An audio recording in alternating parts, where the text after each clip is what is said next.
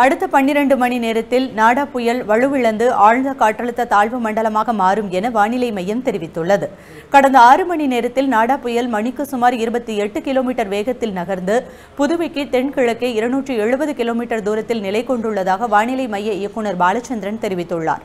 இந்த புயலின் மேல் மற்றும் கீழ் அடுக்கில் காற்றின் வேறுபாடு அதிகமாக இருப்பதால் மேலும் இந்த புயல் மேற்கு வடமேற்கு திசையில் நகர்ந்து வேதாரண்யம் கடலூர் அருகே நாளை காலை கரையை கடக்கும் என அவர் குறிப்பிட்டுள்ளார்.